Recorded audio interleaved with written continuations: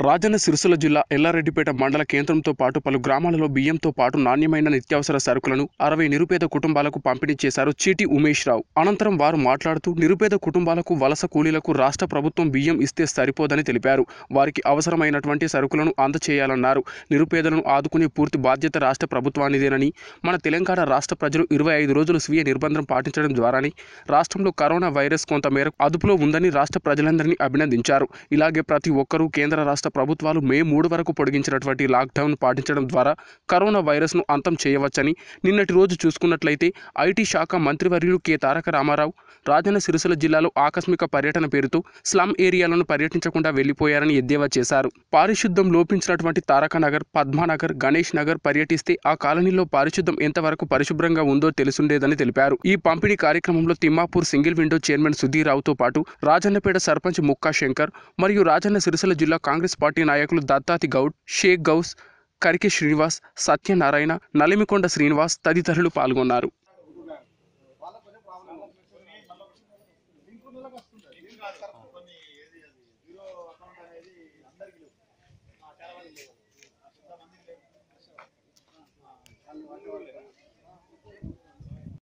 చేతులు కరోనా మంచి చేతులు కాదు. కరోనా అలవాటు చేసుకోవాలి మనం. కరోనా మనం నేర్పింది పాటలు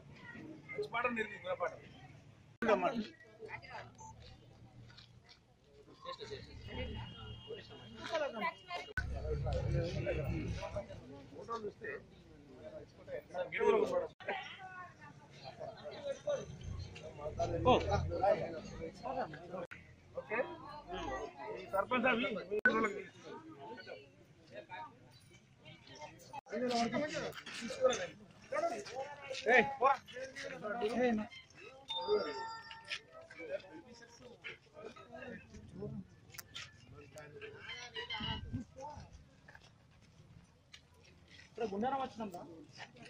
నేను చెప్తున్నా మీ ప్యాకెట్ నేను తీసుకొస్తాను తీసుకొచ్చి చెప్తున్నా? పేరు నీ పేరు హ్మ్? బూతికి బట్ట కట్టుకుంటే తప్ప బట్టలు లేవు బట్ట.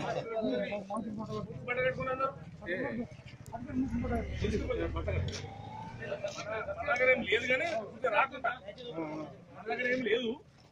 లేదు అని మనం అనుకోవడం లేదు బాగా చేతులు తీసుకో తీసుకో.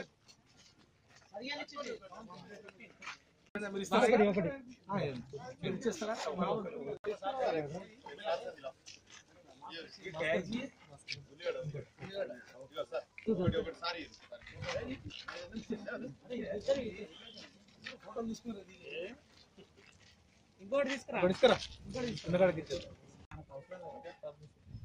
ఏదైతే కరోనా అని మనం చెప్తా ఉన్నామో వ్యవహారికంగా ఇది గత ఇరవై ఐదు రోజుల నుండి సుమారుగా నెల రోజుల నుండి మన భారతదేశంలో ఒక భయానకమైన గీతావహమైనటువంటి పరిస్థితి సృష్టించింది ఇది. కాకపోతే దేశంలో అన్ని ప్రాంతాల్లో లేకున్నా ఎందుకంటే మొత్తం దేశవ్యాప్తం టోటల్గా లాక్డౌన్ అయింది కాబట్టి ప్రజల యొక్క జీవన పరిస్థితులు మొత్తం ప్రజా జీవితం అంతా స్తంభించిపోవడం వల్ల అనేక ఇబ్బందులు ఎదుర్కొంటున్నాం. అయితే దేశంలో మన మన దగ్గర ఉన్నటువంటి వైద్య సిబ్బంది కానీ మన పోలీస్ సిబ్బంది కానీ ఇతరత్ర నిపుణులంతా కూడా మనకు మంచి సూచనలు చేయడం కేంద్ర రాష్ట్ర ప్రభుత్వాలు కూడా దీన్ని వెంటనే స్పందించి లాక్డౌన్ ప్రకటించి సామాజిక దూరాన్ని పాటించే విధంగా ఎప్పుడైతే చేశారో మన మన ప్రజలు కూడా చాలా క్రమశిక్షణతోని చాలా పద్ధతితోని వీలైనంత వరకు మన రాకుండా చేశారు. ఈ సోషల్ డిస్టెన్స్ మెయింటైన్ చేయడం వల్ల ఈ వ్యాధి అనేది అంటుకోకుండా జరిగేటువంటి ఒక పరిస్థితిలో అందులో ప్రధానంగా మన సిరిసిల్ల నియోజక జిల్లాలో కూడా ఒకే ఒక పాజిటివ్ కేసు ఒక అబ్బాయి ఢిల్లీ పోయేసిన అబ్బాయిదే వచ్చిందే తప్ప మన దగ్గర అది కూడా వెంటనే తీసుకోవడం రికవర్ చేయడం అతను కూడా క్యూర్ అవుతున్నట్టుగా మనకు సమాచారం ఉన్నది. అయితే మన దగ్గర ఇక్కడ ఇది లేదు. ఈ- ఈ వైరస్ అనేది మన దగ్గర లేదు. కానీ లేదు అని చెప్పి మనం ఊరుకోవడానికి వీల్లేదు ఎందుకంటే మళ్ళీ మనం దాన్ని తీసుకొచ్చుకున్న వాళ్ళం అయితే మనమే. కాబట్టి వైరస్ లేదు. లేకున్నా మనం ఈ ప్రభుత్వం ఇచ్చినటువంటి లాక్డౌన్ ఎన్ని రోజులు ఇచ్చిందో నిర్ణీత గడువు వరకు కూడా మనం దాని లాక్డౌన్ మనం తప్పకుండా ఆచరించవలసిన అవసరం ఉంది పాటించవలసిన అవసరం ఉన్నది. అదేవిధంగా మనం అనవసరంగా కూడా బయటకు తిరిగి కూడా ఇబ్బందులు పాలు కావద్దు. అక్కడ పోలీసులు వస్తారు. ఆ పోలీసులతో మనం పోయి ఆర్గ్యుమెంట్ చేస్తూ వాదనలు కూడా చేస్తారు మన వాళ్ళు ఎటు ఎటుపోతున్నటువంటి క్రమంలో వాళ్ళు అడిగితే కూడా వాళ్ళతో వాదనలు చేసేటువంటి ఒక పరిస్థితి నేను చాలా చాలా చూశాను. డాక్టర్ల ఇచ్చినటువంటి ఒక సలహాలు కానీ పోలీసులు ఇచ్చే సలహాలు కానీ మనం ప్రభుత్వానికి పూర్తిగా మనం సహకరించే బాధ్యత మనది. అయితే సరే మన దగ్గర వైరస్ లేదు ఓకే. వైరస్ లేదు మనం జాగ్రత్తగా ఉన్నాం మనకు రాదు కూడా ఏమి ఇబ్బంది కాదు మనం లాక్డౌన్ దాకా మనకి ఇబ్బంది ఏం లేదు. కానీ వైరస్ లేదు కానీ మన దగ్గర లాక్డౌన్ అవుతుంది కదా. ఈ దేశంలో గత ఇరవై ఐదు రోజులు లాక్డౌన్ అమల్లో ఉంది. ఇంకా పద్దెనిమిది రోజులు అమల్లో ఉంటుంది లాక్డౌన్. అంటే సుమారు నలభై ఐదు రోజులు నలభై మూడు నలభై నాలుగు రోజుల లాక్డౌన్ మనం ఉండబోతా ఉన్నాం. ఇప్పటివరకు ఇచ్చిన ప్రభుత్వ లెక్క ప్రకారం. ఇంకా వ్యాధి ఒకవేళ ఏమన్నా ఎక్కువైతే ఇంకా పెంచిన అవకాశం కూడా పెంచవచ్చు అయితే ఈ లాక్డౌన్ క్రమంలో ఇక్కడ సమస్యలు వచ్చింది ఏంటంటే ఉన్నోనికి పైసల్లోనికి ఏం కాదు అన్ని విధాలలోనికి ఏం కాదు. రోజు కష్టం చేసుకుని బతికేటోళ్ళకే సమస్య వచ్చింది ఇక్కడ. ఇది ఇది ప్రధానం మనకు. అయితే ఏంటంటే వీలైనంత వరకు డబ్బున్న వాళ్ళు సంపాదనలు ఎవరైతే ఉంటారో ఎవరైతే ఇవ్వగలిగేటువంటి దాన గుణం ఉన్నటువంటి వాళ్ళు వాళ్ళందరూ ఇప్పుడు ముందుకొచ్చి ప్రజలకు సేవ చేసే అవకాశం ఇప్పుడు వచ్చింది. దయచేసి ఎవరికి చేతలేనంత వాళ్ళు బయటకు రావాలి బయటకు వచ్చి ఇప్పుడు వ్యక్తులుగా చేస్తే వాళ్ళకు కూడా పుణ్యం ఉంటుంది.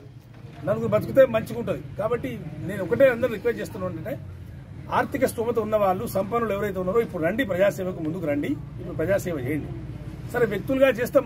సరే నేను వచ్చిన నేను నేను నేను వ్యక్తిగా ఒక వ్యక్తిగా నేను నాకున్నటువంటి ఉడతా భక్తి ఏదో కొంత చేశాను. అసలు ప్రధానంగా ఏంటంటే ప్రభుత్వం మీద ఈ బాధ్యత ఉంటుంది. ప్రభుత్వమే ఎక్కువగా చొరవ తీసుకొని చేయాల్సిన అవసరం ఉంటుంది.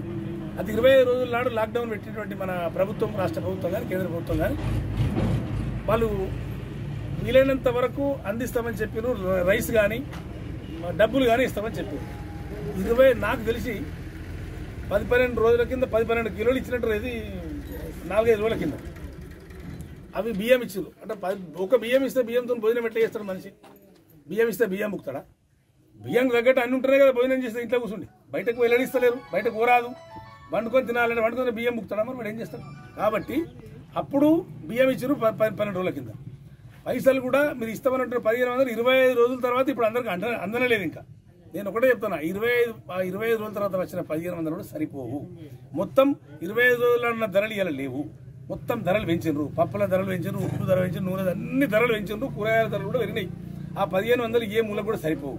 నేను ఒకటే రాష్ట్ర ప్రభుత్వాన్ని అడిగేది ఏంటంటే ఈ పదిహేను వందలకు మీరు ఇంకా మూడు వేల ఐదు వందలు జత కలిపి ఇవ్వండి. ఐదు వేల రూపాయలు ఒక్కొక్క కుటుంబానికి ఇవ్వండి. వాళ్ళు ఆల్రెడీ ఈ నలభై ఐదు రోజుల నుండి కూలీ లాస్ అయినరు పని పని లాస్ అయింది ఇంట్లో కూర్చొని తింటే వాళ్ళు ఇంకా మిగిలిన అప్పులైనరు. కాబట్టి ఒక బాధ్యత మనకు ఉంది ఖచ్చితంగా ప్రభుత్వ పరంగా ప్రై- ప్రైవేట్ వ్యక్తులు చేసేది చేస్తా ఉన్నారు. ప్రభుత్వ పరంగా చేయాల్సింది ఖచ్చితంగా మీరు ఐదు వేల రూపాయలు ఇవ్వాలా? ప్రతి కుటుంబానికి ఐదు వేల రూపాయలు ఇచ్చే విధంగా చర్యలు తీసుకోవాలా? మీరు ఇచ్చిన ఇరవై ఐదు రోజులకు ఇచ్చిన పదిహేను వందలు ఏ మూలకు కావవి అవి అవి కూడా ఇంకా పూర్తిగా రాలేదు. వాళ్ళ చేతికి ఏం రాలేదు. వస్తున్నాయని చెప్తా ఉన్నారు. సరే వస్తే వస్తాయేమో రూపాయలుండు కానీ అవి సరిపోవు అనేది నేను చెప్తా ఉన్నా. పేదవాళ్ళు బాగా నష్టపోయినారు కష్టపడ్డరు. ఈ క్లిష్ట సమయంలో ఈ కష్ట సమయంలోనన్నా ప్రభుత్వం స్పందించవలసిన అవసరం ఉన్నది. ఇప్పుడు ఈ ఈ డబ్బులు వేయడానికే ఇన్ని రోజులు పెడితే మరి ముందు ముందు జరిగేది ఎట్లుంటుందో ఒకసారి ఊహించుకోండి. ఖచ్చితంగా అది ఏమైనప్పటికీ కూడా ఈ సందర్భంలో ప్రజలను ఆదుకునే బాధ్యత మన పైన ఉన్నది. నేను మన సిరిసిలకు పదో తారీఖు నాడు సిరిసిలకు వచ్చి ఆ సిరిసిలకాడ కొంతమందికి ఈ ఈ రకంగానే సరుకులు పంపిణీ చేశాను నేను మళ్ళీ పంపిణీ చేసిన సందర్భంలో ఆ రోజుకి ఇరవై రోజులు అయింది నేను అడిగిన మరి మన మంత్రి గారు రాలేదు? చాలా పెద్ద మనుషులు మీరు.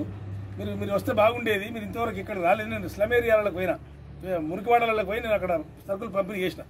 మీరు రాలేదు మంత్రి గారు. అంటే సరే ఆయన నిన్ననో మొన్ననో వచ్చినట్టున్నాడు.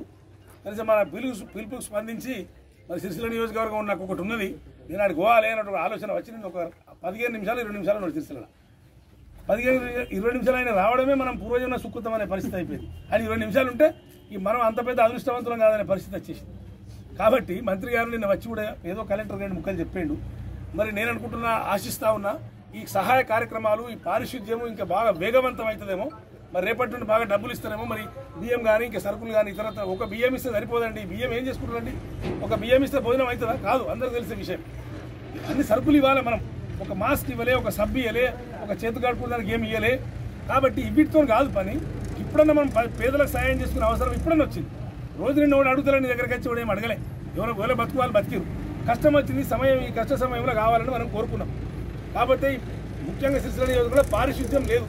సిరిసిల్లలో నేను మంత్రి గారు వచ్చినప్పుడు మన తారగ్రామ నగరు గణేష్ నగరు రాజీవ్ నగరు బ- బద్దమెల్లారెడ్డి నగర్ తిరిగితే మంత్రి గారు తెలుస్తుండే అని తిరగలే. ఒక పది నిమిషాలు పదిహేను నిమిషాలు ఉండిపోయింది ఆయన అదే మా మహాభాగ్యం నేను రావడం అనుకున్నాడు. ఇరవై ఐదు రోజులు అవుతుందండి ఇలా లాక్డౌన్ ఒకటి ఇప్పటికీ. ప్రజలు ఏ పరిస్థితులు ఉండాలి చెప్పండి. ఎంతమంది పేదవాళ్ళు? ఇప్పుడు నేను చెప్పిన నేను ఏ ప్రాంతాలకు చెప్పినా ఆ ప్రాంతాలకు కొత్త తెలుస్తుంది అక్కడ పారిశుద్ధ్యం ఏమున్నది కలెక్టర్ ఏం చేయడు? కనీసం కలెక్టర్ అయినా తిరగడా? కలెక్టర్ కూడా తిరుగుతలేడు. పారిశుద్ధ్యం చేయమన్నా మేము ఏమన్నా మాకు బంగారం ఇచ్చిపోమన్నా వెండి ఇచ్చిపోమన్నా పారిశుద్ధ్యం చేయండి కనీసం పారిశుద్ధ్యం పట్టించుకోండి. మురికివాడలకు వండి ఇటువంటి కష్టం ఉన్న ప్లేసులకు పోండి పారిశుద్ధ్యం చూడండి ఆ పేదల యొక్క స్థితిగతులు చూడండి. వాళ్ళు బతికే పరిస్థితి లేదు ప్రభుత్వం ఇది సరిపోతలేదు. మన దగ్గర స్వచ్ఛంద సంస్థలను కూడా ప్రోత్సహించి తెచ్చిన వాళ్ళు కూడా లేరు ఎక్కువ. బయట బయట జిల్లాలలో బయట నియోజకవర్గాల్లో స్వచ్ఛంద సంస్థలు నుంచి బాగా పనిచేస్తున్నాయి. ఎవరైనా పెద్దవాళ్ళు చొరవ తీసుకుంటే మంత్రులు లాంటి వాళ్ళు చొరవ తీసుకుంటే స్వచ్ఛంద సంస్థలు కూడా వస్తాయి వాళ్ళు కూడా సాయం చేస్తారు.